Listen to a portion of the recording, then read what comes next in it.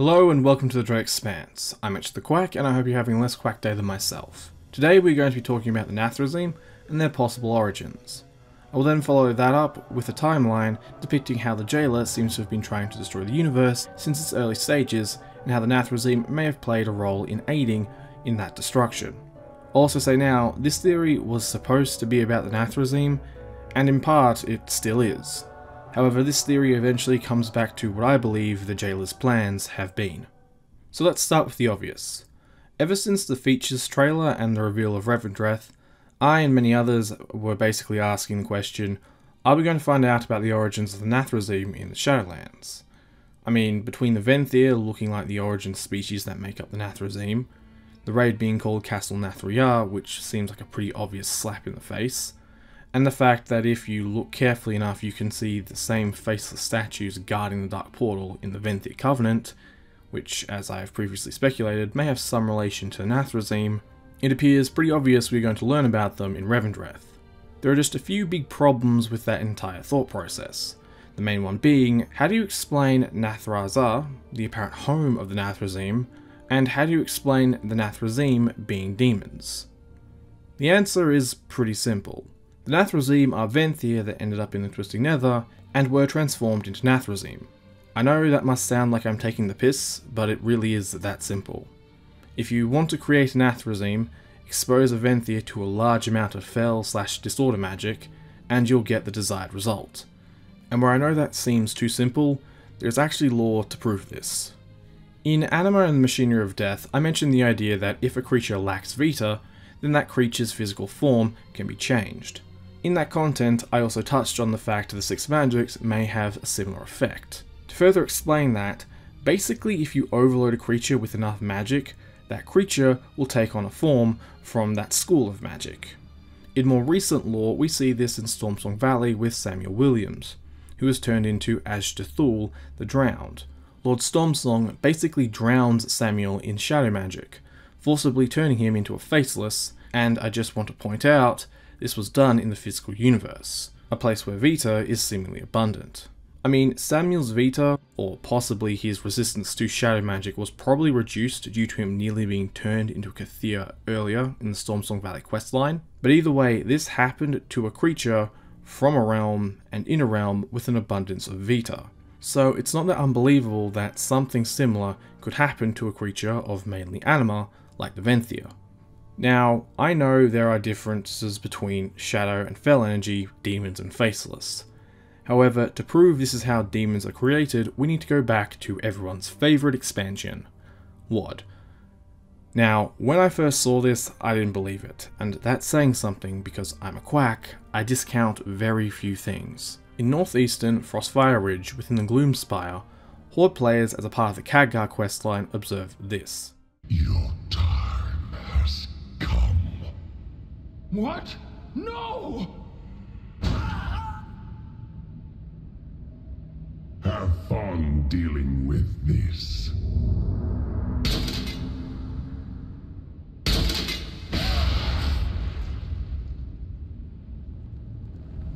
I'm more beautiful than ever!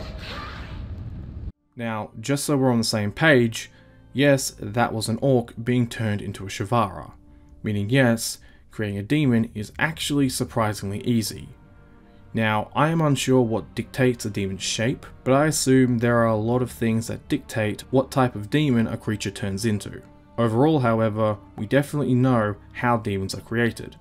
I mean, technically, this was mentioned in Chronicle Volume 1 ages ago, in reference to how the Nathrezim twisted mortal races into new types of demons. I just never knew how literal the statement was, and until the reveal of Revendreth, I didn't realise the same was applicable to the Nathrezim as well. If you're also after a third example of something like this possibly happening within another magic, I would highly suggest watching this speculation by Accolon. I mean, I would suggest watching it anyway because it gives a very good insight into what could be happening to Sylvanas, but the same principle of magic overload is present. So the Nathrezim are basically fel-exposed Venthyr, if asked to guess, this exposure is the reason why demons and the Nathrezim go to the Twisting Nether when they die. It's because when they are exposed to the chaotic energies of the realm, their spirits are tied to that realm. As for the regeneration aspect of the Twisting Nether, your guess is as good as mine. I can only assume a demon's soul regenerates because the Twisting Nether is basically a melting pot of the magics of creation. Maybe. Probably. And in turn, has the property of regenerating its denizens. I should also mention now, the Nathrezim might not be the only Shadowland species to have been exposed to a specific type of magic that changed their form. Actually, no, I'm certain they're not. I'm just going to save the more convincing idea for its own theory, which it will need. In the meantime, I ask this. What do the Night Fae remind you of? When I first saw them, I thought Draenei, then Satyrs, but then mainly Draenei and Eredar. And maybe I'm the only one who sees it. But if the Night Fae are in some way related to the Draenei, in a similar fashion to the Venthyr being related to the Nathrezim, except arcane magic being the catalyst for the change, assumedly, the question for me that comes to mind is okay, Argus was connected to death, but if he was similar to Azeroth, then he wasn't just connected to one type of death. And so the question is, what type of death was Argus connected to? And if not what type of death, then was Argus connected to Ardenwald specifically, and did Sargeras twist him into the state we saw him in? Implying yes, he was a Death Titan, but not always and or necessarily the Unmaker, the Ender of Worlds, etc., etc. Anyway, back to the Nathrezim. Where I may have explained the mechanical how, as in how did the Venthyr turn into the Nathrezim, we now move on to the more interesting, far-reaching, and frankly mess of a why. Because everything I've said is well and dandy, but we still don't have a reason for why the Venthyr would have gone to the Twisting Nether, or even how they got there. This is where the biggest assumption of this theory comes into play. I think the Venthyr, once upon a time, served the Jailer. Then a war with the Arbiter happened, and some of the Venthyr betrayed the Jailer ensuring his defeat. I think the Venthyr that were still loyal to the Jailer somehow escaped to the Twisting Nether, never wavering their loyalty to the Jailer, and set out on a millennia-long plan to either fulfill the Jailer's wish in destroying the universe, or setting the Jailer free. Now, I need to explain that assumption and preface what comes next.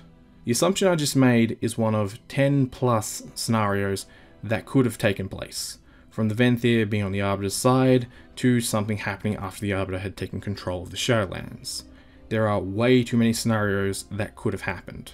I mean, I can't even assure you the Nathrezim were loyal to the Jailer, and don't just happen to have a similar goal.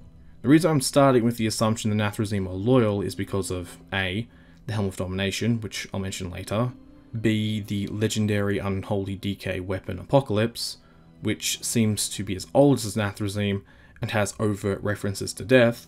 I would also say the legendary Blood DK weapon, the Maw of the Damned, had something to do with this decision, but whatever Nihilum was, or whatever happened during that battle, seems to be separate from the Maw, but then again, the battle did apparently scar vast stretches of reality. See, the faceless statues of Nathrezim seemingly used for power or worship in the physical universe. As pointed out before, they turn up in Revendreth, and as pointed out to me by Roy Owen, who mentioned this in one of the comments of my previous theories, also seem to be a part of the Tower of Torghast, or at least the concept art. D, assuming the Nathrezim are loyal to the Jailer, is a good starting off point.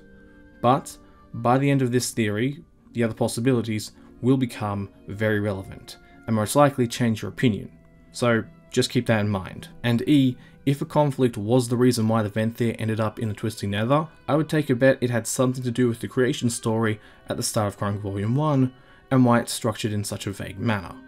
Okay, with out of the way, what makes it clear the Nathrezim could have been loyal to the Jailer?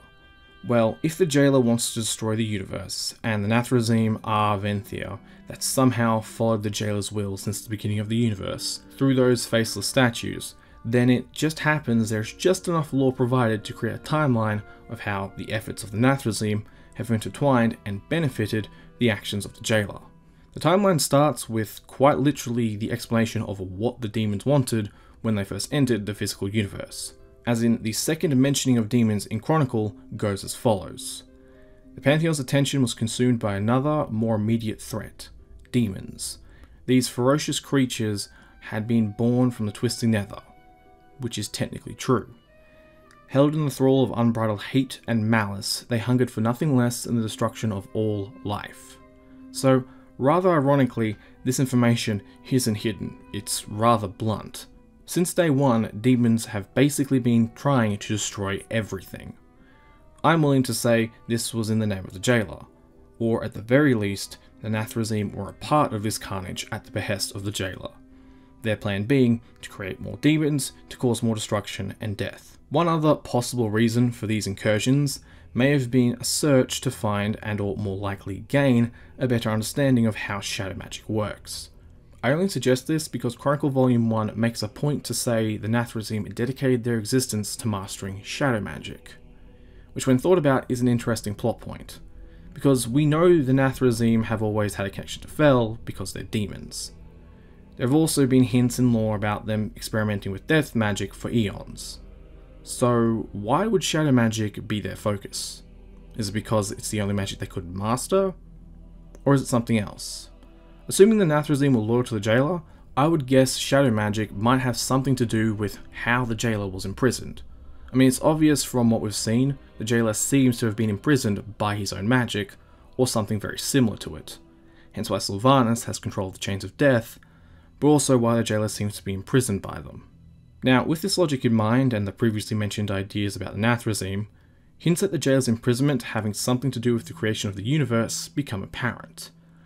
As in, think of something along the lines of Demon Hunters. The idea being that the first creatures of Shadow embraced portions of the jailer's power, so creation had the ability to imprison him, but at the same time, sealed their fate as darkened creatures forever. I have no proof of this speculation by the way, it's just an idea spawned from a description that for me stood out, and actually leads on to the next big point on the timeline. The Nathrezim were unsuccessful in destroying the universe. The Titans, specifically Sargeras, a creature more powerful than the demons, stepped in and stopped them, imprisoning most of the demons in Mardum. However, some of the Nathrezim found the shadow magic they were looking for, and also happened across a sleeping Titan. This next part is well known. Sargeras finds a sleeping Titan, corrupted by the shadow. He finds the Nathrezim on the planet, interrogates them and finds out about the Void Lords and their plans to corrupt a sleeping Titan, which results in Sargeras cleaving the world in two, killing the World Soul, and generally beginning his march to madness. Now, without the context of the jailer, this is an important event. However, with the context of the jailer, this event becomes insanely important. The reason I say that is because just a few pages prior, we are told that Nathrezim relish in sowing unrest and turning nations against one another, as well as twisting innocence into new horrific breeds of demons. Couple this with the possibility of the Nathrezim being followers of the jailer, and the result of their actions becomes very clear. Creation of the Mad Titan was most likely the Nathrezim's greatest work, and the jailer's greatest move in this 4D chess match for the universe as it managed to literally turn the universe on itself. I think Sargeras was told a half-truth. I think he was told precisely what would happen if a Shadow Titan was created. A Titan ruled by the magic that influenced its power, instead of the will that comes from its own soul. What I think the Nathrezim expertly left out, though, was the same could be said for any Titan.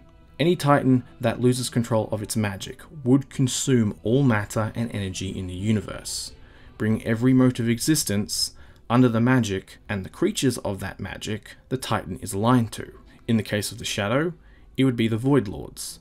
In the case of the Light, something else. The list goes on. It does not matter what magic is used, the result is the same. Because, as is said, six seats at the high table, six mouths at hunger, one will consume all others. And once that happens, and the balance is lost, True Darkness gains the advantage once again, and returns to end everything. I mean, even in Chronicle, the Titans referred to Sargeras falling to darkness. Not the shadow, darkness. And where I know Sargeras' interrogation should have gotten the truth out of the Nathrezim. If Varimathras' attitude when we find him is any indication of how well Nathrezim take torture, then Sargeras probably never broke the Nathrezim he tortured.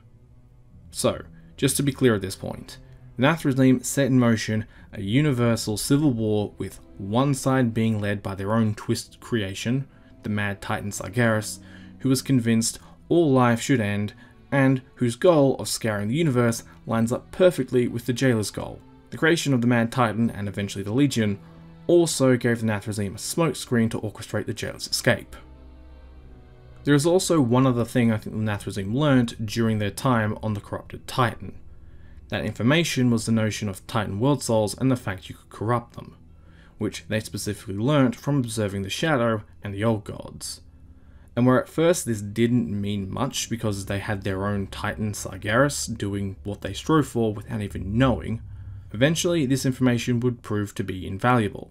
Though before you think it, I don't think this information became useful with Argus unless there's something else about Argus that directly relates to the jailer. I assume Argus, for the most part, was ignored by the jailer and left to Sargeras' machinations. The reason being that when Argus fell, Sargeras and the Burning Legion seemed to be the mightiest force in the universe. If Argus was monopolized by Sargeras and used to fuel the Legion and become a weapon of destruction, it didn't matter to the jailer. Its goal would have been achieved regardless. All it needed was patience. Before we move on to the next event in the timeline, the first query as to whether the Nathrezim were actually loyal to the jailer turns up around this plot point. Ulithesh, the Nathrezim who came to rule the demons inside Mardum, refused Sargeras' call to end the universe. If this theory is correct, and the Nathrezim were acting on the jailer's behalf, assumedly Ulithesh would have chosen to side with Sargeras. He didn't, so at this point we at the very least have an indication not all the Nathrezim were united. P.S. For those who have watched the Jailer leaked content, the discovery of Sargeras and a Titan World Soul would be more along the lines of a rediscovery on the Jailer's part, with the Jailer's intent most likely staying the same. The Jailer just knew from then on it had to deal with old foes.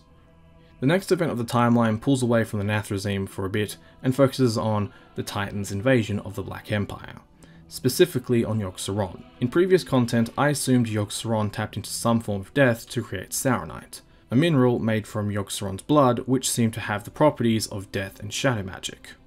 I still believe that to be true, however, with the reveal of the jailer, question of when and why has been thrown into question. I thought Yogg willingly went looking for death magic, and thought he did so because he wanted power. That still might be the case, however there is one other possibility that explains something in Chronicle Volume 1 that for me initially made no sense. When the Titans invaded Azeroth, it described how they caught the Black Empire off guard, and devastated the northernmost holdings of the Black Empire, scouring the Old God minions and temples. Now, unless North and South got rearranged after the Black Empire, that event is describing the Titan Forged decimating Yogg-Saron's territory though as most of you know, that doesn't make much sense considering Yogg was the last old god to be imprisoned, and out of the remaining three, was considered the most dangerous. So, what happened? What allowed Yogg to fight back and apparently regain some dominance in the north? I'd argue it was the jailer. I think Yogg-Saron was nearly killed in the Titan's first strike, and out of desperation started siphoning death magic to sustain itself. I think of all the forms of death it could have tapped into, it specifically tapped into the Maw and started having to deal with the Jailer. Now, how much influence the Jailer actually had over Yogg-Saron is debatable. I mean, I wouldn't be shocked in the slightest if an old god could handle a limited amount of the Maw's power. This also would have made Yogg-Saron, in part, the original Jailer of the Damned, as at this point, to our knowledge, this is the first time a connection to the Maw had been established. However, if the jailer did have influence over Yogg-Saron, well, I think you can imagine how much that would change everything that happened with the Keepers. I will say though, the only proof I have of this is the fact Yogg-Saron, for no apparent reason, has a Valkyr hovering above him during the Ulduar encounter.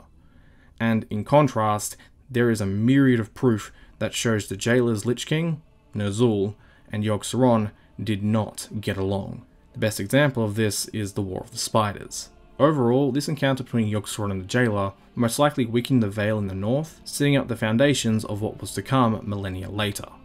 The next part of the timeline focuses on Odyn, Helya, and the creation of the first Valkyr on Azeroth. It has been confirmed that the Dark Entity that made a deal with Odyn for his eye was not the Jailer. Instead, it was an agent of the Jailer, and we are apparently going to find out about why this deal occurred and its ramifications in the Shadowlands. However, I don't think we need to wait that long to answer at least some of the questions related to why the jailer set this deal in motion. The jailer seemingly needs Valkyr to enact his plan. The question is, considering how Valkyr are created, can the jailer or its direct servants in the Damned create Valkyr? At present, I would argue no. The reason being, the magic of the Maw does not seem to be equipped to do so. What I'd say the jailer can do though, is corrupt Valkyr, but I'd assume he can only do so to those Valkyr that are not under the influence of the Arbiter or a strong will, similar to how the Nerubians were immune to the Lich King's mind control, not because they were immune, but because they were already under the influence of Yogg-Saron. I also want to add, the Jailer might not be able to create Valkyr directly, but I think he can create them through proxy, as in partially corrupt another creature from another magic that can do so, and use that creature to create the Valkyr. This is where Odyn playing the Fool comes into play. Discovering there was a keeper wanting to see into the Shadowlands, I think the jailer banked on or knew Odyn needed creatures like the Valkyr and so would look into Bastion and mimic the process the Kyrian practice, with the intent of creating his own spirit healers detached from Bastion and the Arbiter. Obviously, the jailer guessed right, or the weakened Veil of Northrend helped provide him insight because that's exactly what Odyn did. This is where the story of Odyn and Helya becomes interesting. There are two stories of how Helya became the first Valkyr. One fully blames Odyn. The other blames Helya and shows how morally bankrupt Odyn is. Now, prior to the reveal of the jailer, I was inclined to believe the story that blamed Odyn. However, after long conversations about this subject with Lhok from Shinies and Luckydos, I am now inclined to believe both stories. And let's just say, when you do, you realize how horribly Helya and Odyn managed to screw each other over. Helya knew of the Shadowlands. She had studied them. It was why she could warn Odyn about them. So, assumedly, Helya knew everything we're currently learning about the Shadowlands, and her denial of Odyn probably had something to do with the drought the Shadowlands is experiencing thanks to the Maw. Why am I certain of this? During the What's Next panel, we got a look at the Drust section of Ardenwald. To me, the place looks like it's dying. And I think when we start to explore the zone, we are going to find out it has been in drought and dying a lot longer than any other zone. Because inexplicably, a long time ago, the spirits that usually went to the Drust suddenly stopped. And as you can already guess, I think the cause of this was Odyn and Helya's feud and the creation of Helheim and the Halls of Valor. And yes, I am implying I think the Vrykul, not just the ones that ended up in Kul and in turn some of the humans, if not all humans as a whole, have ties to the Drust. Or more precisely, the Vrykul on Kul Tiras didn't discover the Drust's magic. They instead rediscovered it. But I need to stay on topic. Helya, for good reason, denies Odyn, and chooses to return the Halls of Valor, and this causes them to get into a fight. During this fight, Helya does something stupid, she tries calling on the power of the Shadowlands and seems to tap into the power of the Maw, similar to Yogg, but instead of controlling it, she gets dragged in. Odyn does save her, but not before Helya begins to turn into, or already has turned into, one of the Damned. This probably explains Helya's screams of anguish that permeated Azeroth and the Shadowlands. The next part of this story is so morally grey it's actually infuriating. Odyn turns Helya into a Valkyr, apparently to save her from transforming into and or being one of the damned. I'm not sure whether this confirms you can save people from being damned, but even so, being a spirit healer for eternity doesn't sound that nice either. And from there, things just keep getting trickier, because Odyn then bound Helya to his will, which on the outset I would quite easily argue was a dick move. But we know the jailer can corrupt Valkyr, so there is the possibility Odyn had to bind Helya to his will, otherwise she would have fallen under the sway of the jailer anyway. I would also be willing to say, considering how the Kyrian creates spirit healers and Odyn having control over lightning, Helya lost part of her memory during this entire encounter. Specifically, the parts leading up to and during the confrontation. After Helya is bound, Odyn's moral bankruptcy finally starts to shine through though, Instead of telling Helya the truth, I think Odyn lied to her for millennia in the name of protecting Azeroth and his dream of a Valarjar army. I think he made Helya believe she either chose her position as a Valkyr, or that she was the only person to blame for her current state. The lie would eventually crumble, and would be the reason why Loken and Yogg-Saron could use Helya as a pawn to lock away the Halls of Valor and bring down the Keepers. This is where I think the jailer, after patiently waiting, finally made its move. I think similar to its other servants, the jailer slowly but surely twisted the anger Helya had for Odyn after such a depraved betrayal into possibly hatred for everything living, if not at the very least Azeroth.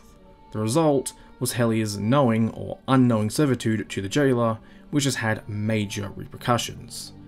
These repercussions being, in no particular order, small amounts of anima being passed into the Maw, most likely through Helheim and the Maw of Souls, the crippling of one of the defensive forces of the Shadowlands and the Drust, as Odyn did choose them for being unyielding warriors, so it would not be that surprising if they were the defense force of Ardenwald, confirmation that creatures of the physical universe can be turned into and create spirit healers outside of the Arbiter's influence, knowledge of something very important I'll mention later, and the creation of the Kvaldir who seem to be one of the armies of the Jailer, firstly being used to disrupt Odyn's plans, and later being used to counter the Shadow's presence through the Naga within Azeroth's oceans post-Sundering. Speaking of which is where the timeline moves to next. The Sundering. Now, I could not find any evidence to suggest the Jailer was behind the Sundering, other than its hands in the Burning Legion and the slim possibility it had some influence over Yogg-Saron.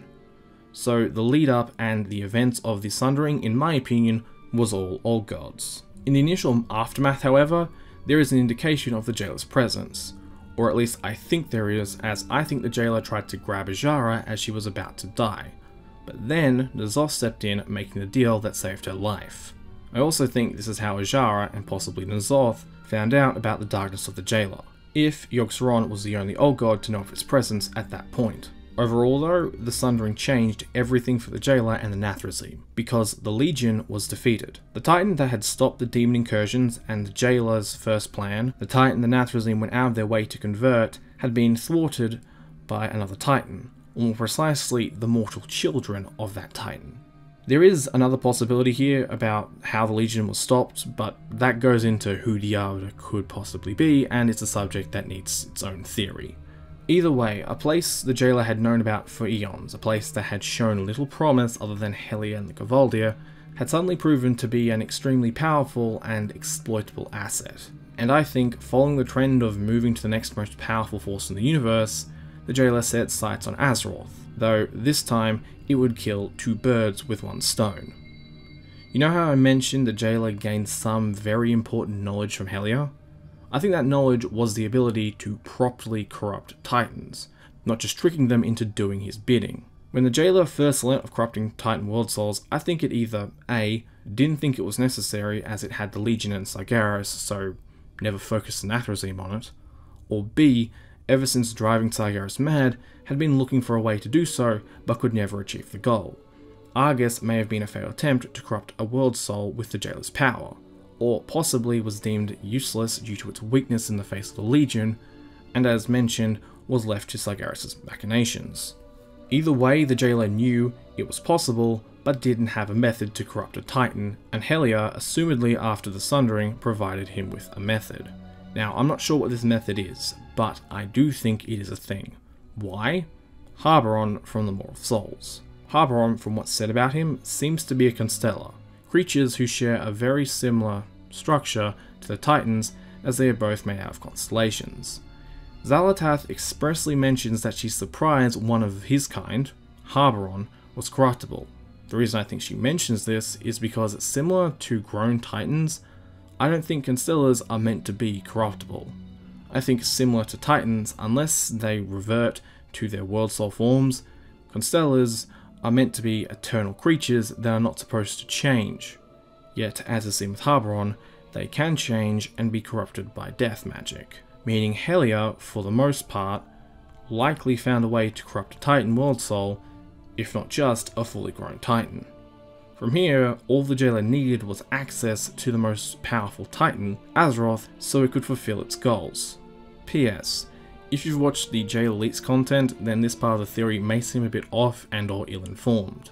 I wrote this script before the Jailer was revealed, but don't worry, there is an explanation behind what the Jailer wants Azeroth for other than corrupting her, and I'll touch on that at the end of the theory. Now, continuing on, the reason the Jailer wants to corrupt Azeroth, other than the significant power gain, leads on to one of the original wishes of the first Lich King, a creature that was most likely under the direct influence of the Jailer, and a point in the timeline that will either solidify the Nathrezim as being a part of a universe-ending conspiracy, or make them out to be one of the most arrogant and foolish creatures in creation that have basically ensured the end of the universe.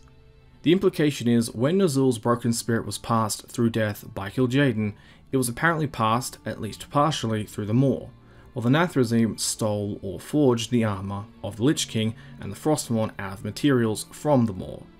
This also does imply the Nathrezim had access to the Maw.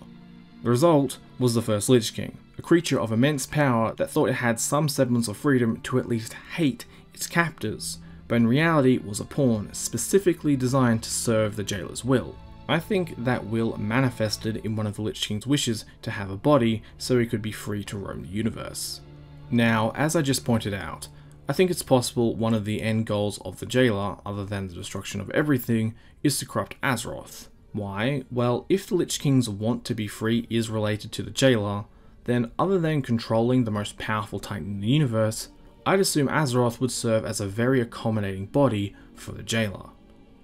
Now, moving forward with the knowledge the Jailer has been around since day one, there is additional context added to the creation of the Lich King.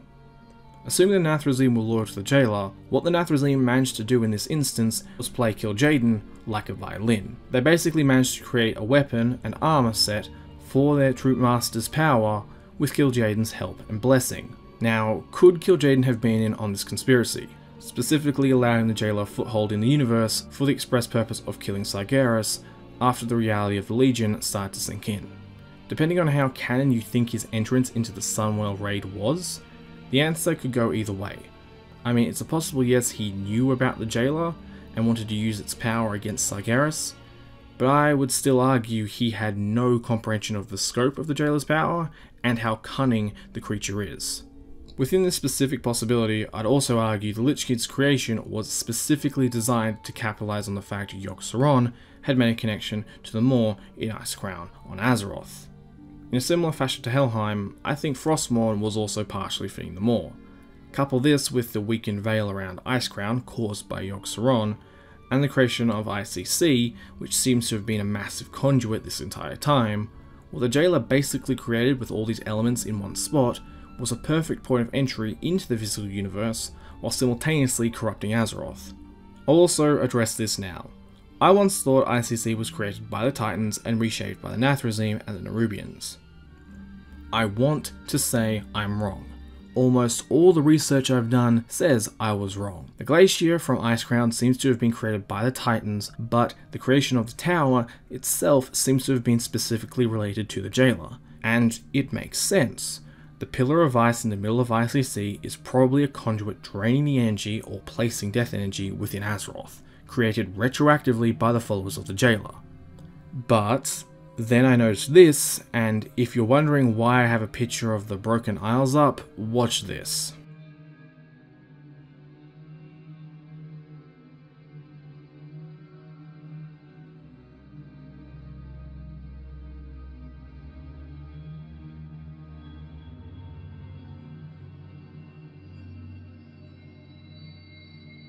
I don't know if this is actually a thing or just a really odd coincidence.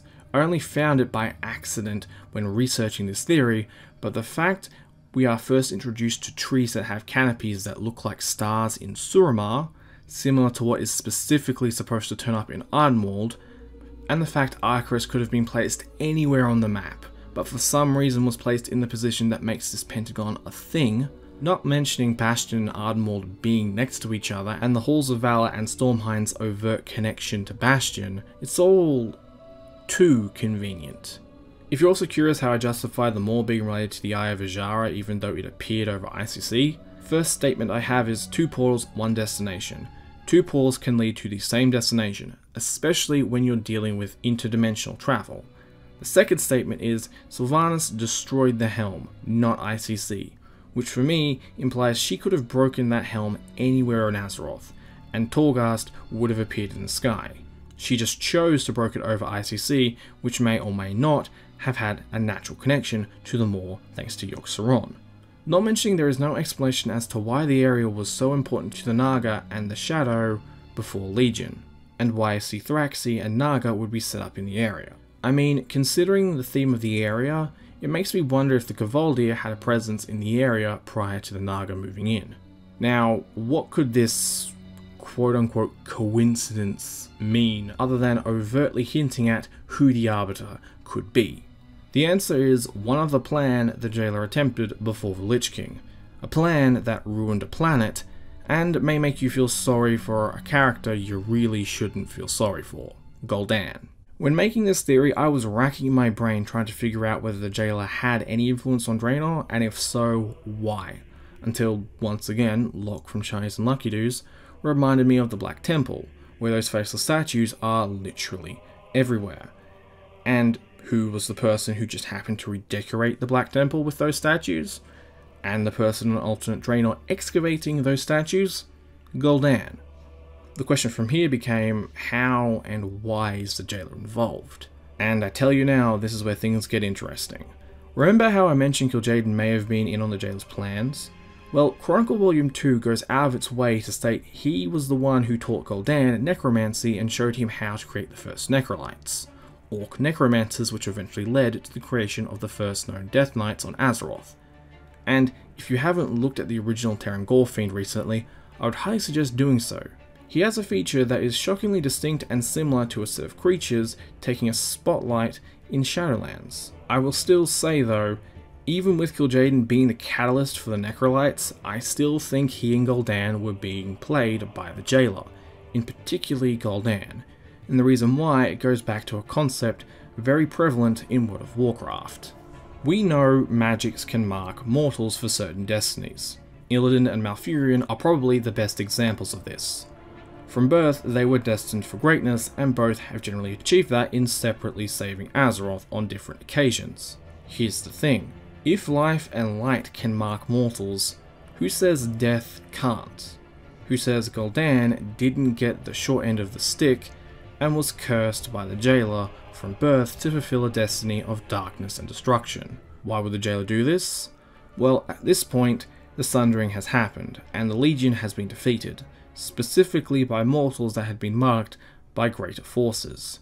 So, what I propose is the jailer attempted the same thing, and Gul'dan was the unfortunate soul to be cursed, possibly explaining why he had been disfigured from birth, why the elements knew he could never be redeemed, why Gul'dan could become so powerful, and possibly why his skull after death could hold so much power.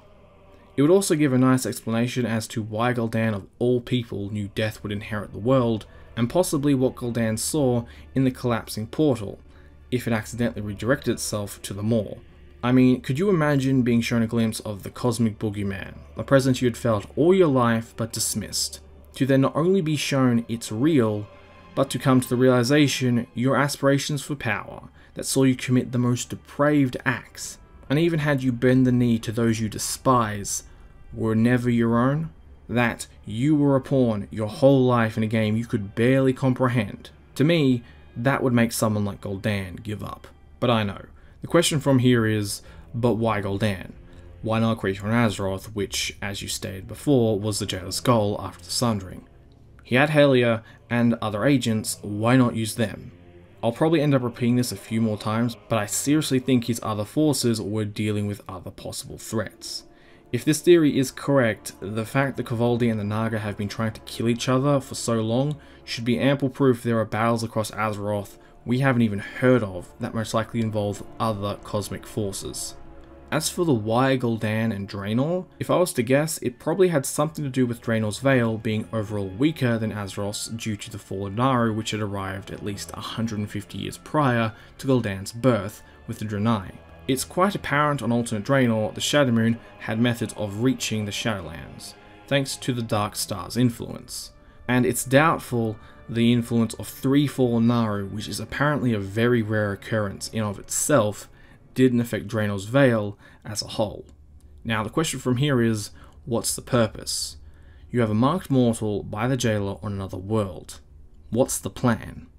The plan, I kid you not, was most likely to use Sargeras' long game with Aegwynn to acquire the Staff of Sargeras and quite literally rip the veil, similar to Sylvanas, with Gul'dan. The reason this is possible is if the jailer was the cause of the Legion, I would be willing to say it knew about most, if not all, of the plans going on, especially if the Nathrezim were working for him. And where it said the Orcs seemingly came out of nowhere and just happened to line perfectly with Sargeras' plan, if your Kil'jaeden was being manipulated as much as I think he was, then the Draenei were the excuse the jailer needed to manipulate his pawns into working together. The goal being to create another dark army like the Kvaldir that by proxy do precisely what the jailer wanted on Azeroth. And frankly, the plan for the most part worked perfectly. The Orcs ended up on Azeroth thanks to Sargeras. However, due to the strategy that was being employed, Legion's control of the Orcs was minimal and Gul'dan, for the most part, almost had a free run on the Tomb of Sargeras and the Staff, which after finding that quote-unquote coincidence, seems to suggest the original plan was to rip a hole to the Maw somewhere over the Broken Isle. Whether it be the Isle of Azshara, the Maw of Souls, the Temple of Elune, I don't think it would have mattered as I'd swear the whole isle had some natural connection to the Shadowlands in the past. The plan obviously went wrong when Gul'dan fell into a coma thanks to Medivh's death.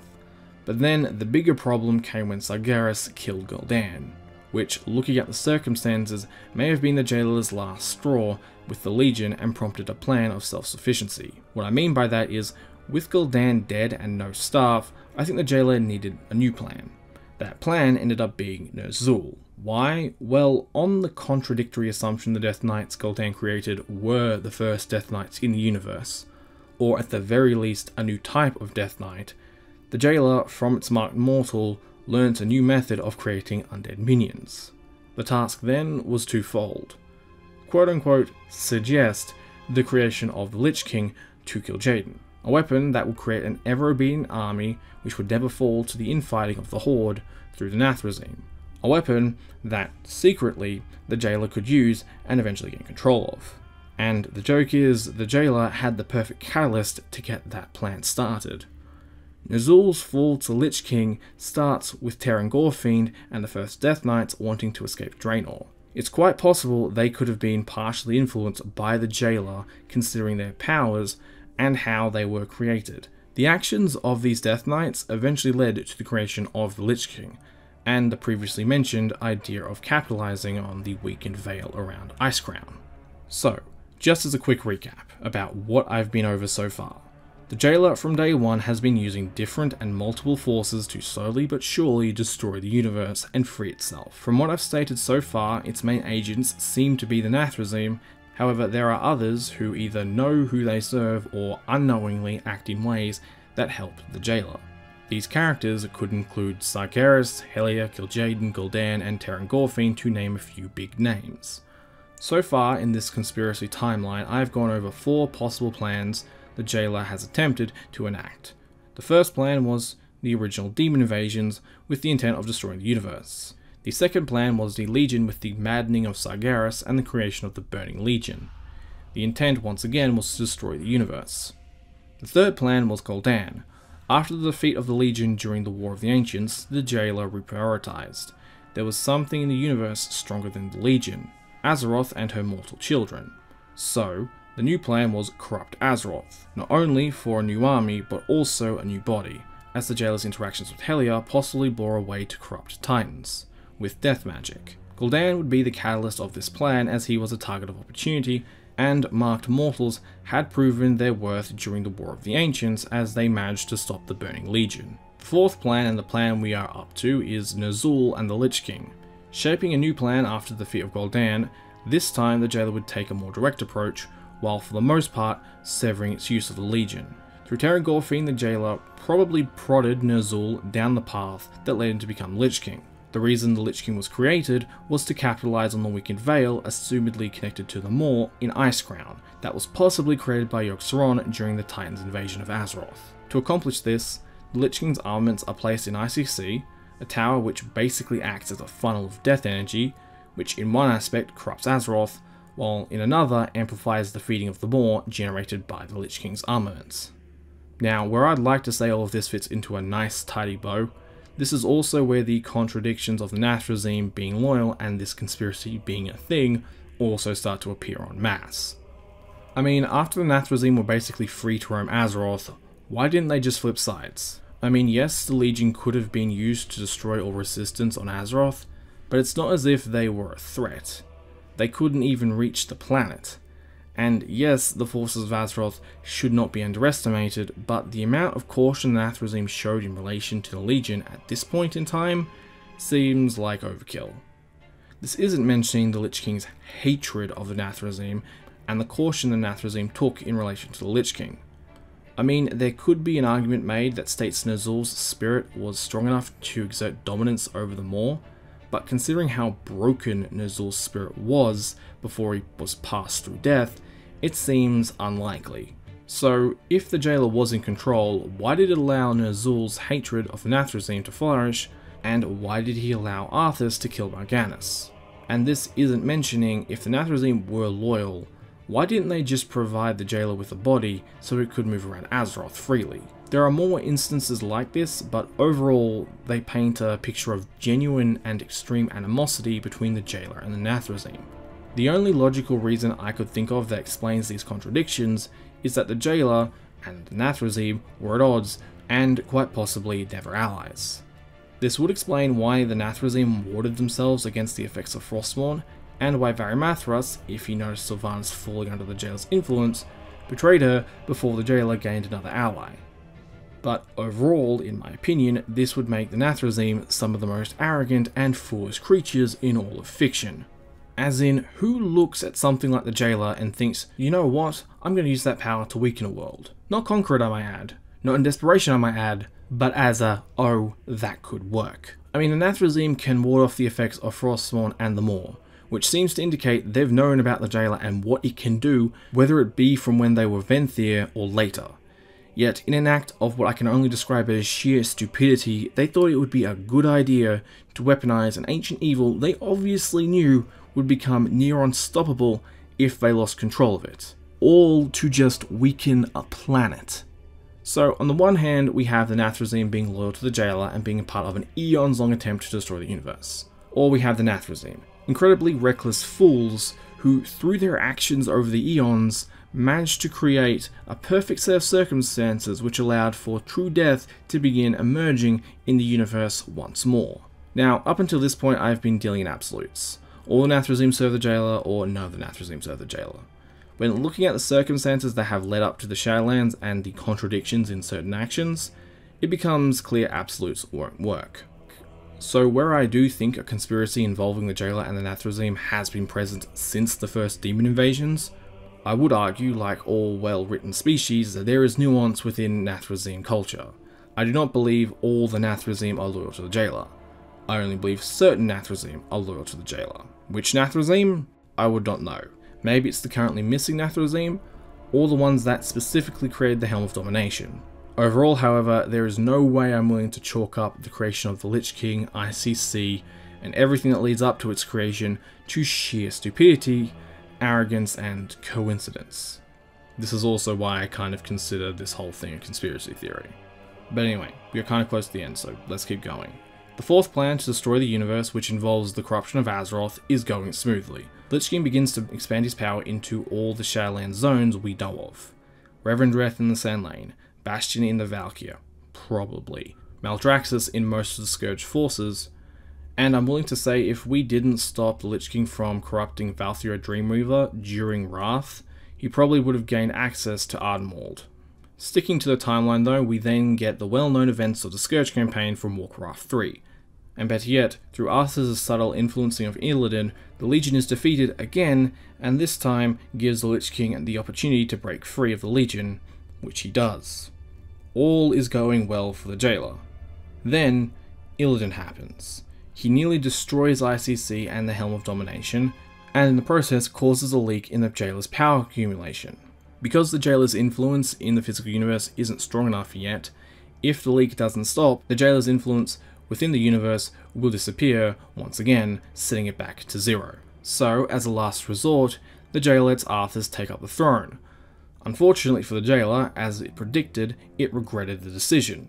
The jailer may have had partial, if not most, control after Arthas took up the helm. Unfortunately, because Arthas's will was still, for the most part, intact when he put on the helm, enough of his emotions for the living remained stopping the jailer from unleashing death upon the world, once Lich King's power returned.